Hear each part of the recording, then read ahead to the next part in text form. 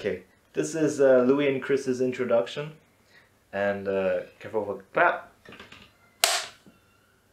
Take one.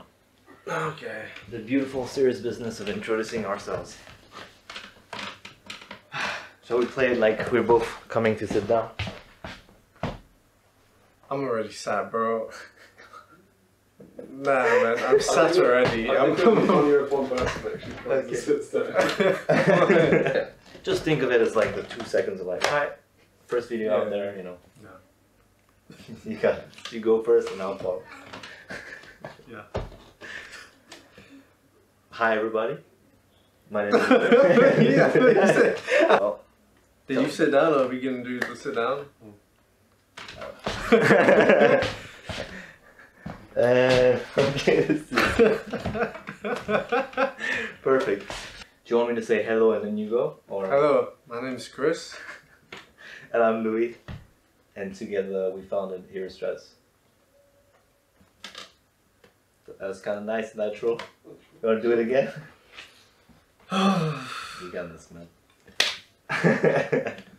We'll go. Um, hello, my name's Chris. Uh, I'm the head of Development. development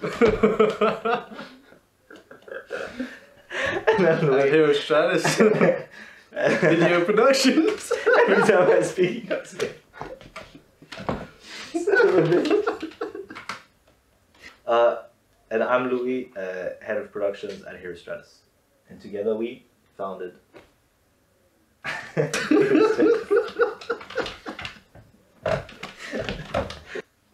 we can always do another intro after. We just have CG Chris. Yeah.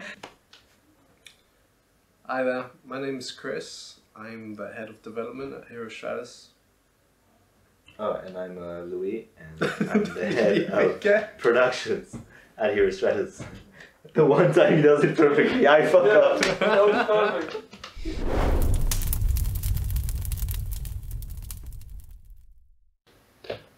Hi everyone, I'm Alessandro. Uh, I'm a journalist and I'm here to interview Christopher Jacobs, head of development for Herostratus Films.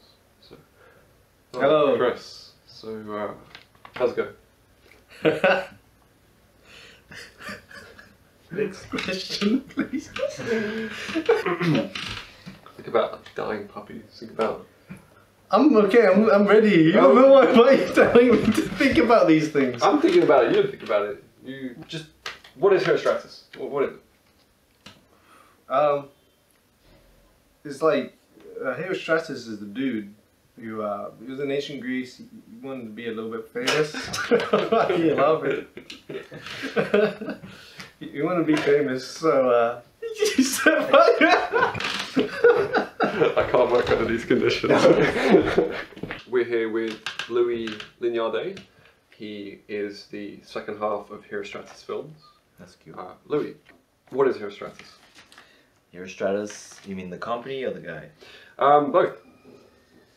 Uh, it was actually a name of a of a person back in ancient Greece, and he became famous through you know he set fire to to this wonder of the world, the Temple of Artemis. so he used, apparently the marble temple had like wooden beams, and so he put like oil rags all over it and set fire to it and then just walked out like a boss and was like, I am Herostratus and I did this. And everybody was like, well arrest this man, let's put him and execute him. He got caught, and uh, when the council and the government there found out, the, the lawmakers found out his motivations for it, they did their best to try and erase his name from history. We've taken, yeah, we've taken that uh, name and, uh, and incorporated it into our own uh, company tagline, "Be remembered," Mm. because at the end of the day, that's all he wanted to be. People you know, why, why do we do these things? Yeah, at, at the crux of it, like there is always that part that, you know, maybe I want to leave a legacy. what kind of better fucking metaphor for filmmakers than Herostratus seeking fame, being all narcissistic and shit, and setting in the most expensive thing ever on fire. It's like basically burning piles of money. And that's what we do. We just burn piles of money and be like, I did this, all proud and shit. Just to be remembered. Well, personally, I came up with the, the, name uh, because there's this, uh, I think it was 1960s, this film by Don Levy, and uh, was about a poet. Like he sort of finds his his lust for life.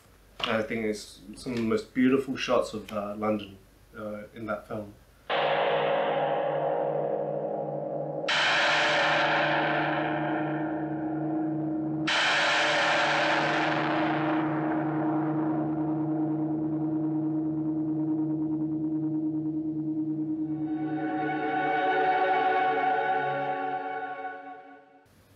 Why was it important then to set up an independent production company? Uh, well, firstly, the like the legal obligations, so creating that don't want to call it a legal framework, but creating a business and that these operations happen under definitely help facilitate, uh, you know, the attainment of what we're, we're trying to attain, I guess. So film, actors, and and the core the core components to make a film, and then have it produce the film afterwards. So. I thought it was just something to do like paperwork and contracts, so we ha- we'd have legitimacy. But in in the end, it it brought a lot more. It was a hard learning curve, but it's huge benefits to it. I would recommend. Do you feel there's an aspect of Herostratus that makes you stand out from others in the field? Um, that's a good question. Uh, There's one thing I keep saying to Louis, and I guess to everyone is that uh, we we believe that for the budget that most people spend on a short film, you could make like a really good feature length film with that same money. I guess like it's always awkward when we go to networking events and things like that. We go and talk to people, and and nobody pays you two mind until it, suddenly somebody mentions money, right? You're, what I'm hearing is that you're saying to other producers to be ambitious. And don't let budget be something that constrain. Is that something you would agree with? Yeah, yeah, definitely. Like also be ambitious regardless of the budget. Mm. Like the budget shouldn't exist. That should be an afterthought. And then even then there are people out there man that are just the most lovely people and they'll happily help. What, what is Herostratus' next major project?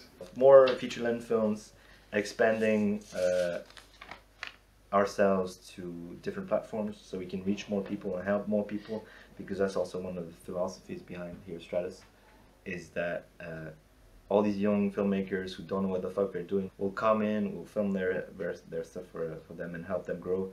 And uh, in turn, they later will help us. Like a, a friend of ours called uh, Willem uh, the Pestas, he's he's done a, a film with us, and of course the budget was like 300 pounds, and he asked us to work for over 15 days and things like that, and we just did it for free, working nine days. We found the whole crew, everybody, when, and we did it.